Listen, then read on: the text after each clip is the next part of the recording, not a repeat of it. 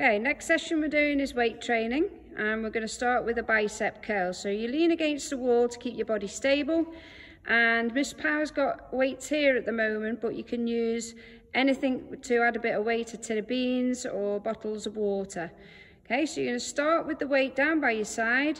You're going to go alternate and bring the weight up towards your shoulder and back down again. It's important to focus on a slow movement up and down so that it's all under control and that your body is stable.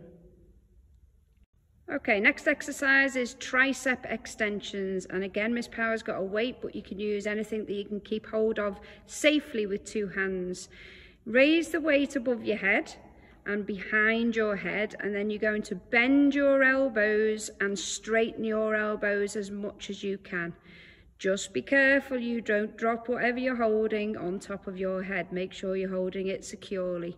So we're doing a bend and straighten of the arms.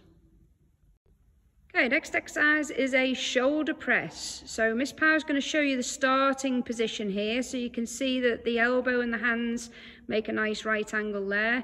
And we're going to push up above your head until whatever you're holding touches at the top. As you return back down, you keep the weights roughly level with your eyes. Okay, push up and down.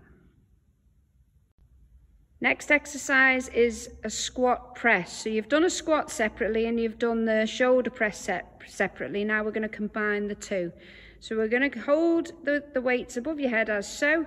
We're going to go into a squat and then you use the momentum as you're coming up to press the weight up above your head.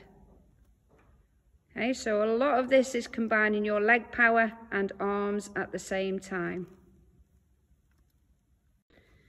Okay, next exercise is a side bend. So we're trying to keep as if you've got a pane of glass in front of you and a pane of glass behind you and you are staying in between that double glazing without bending forward or backwards.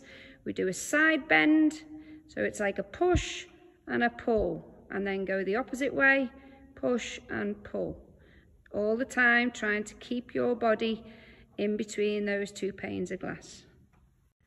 Okay, next exercise is a deltoid raise. This is working your shoulder muscles here. So you start with the weights by your side and you lift your arms up to shoulder level and then back down again. If you want to make this harder, once you've lifted up to shoulder level, you can bend your arms in and out again.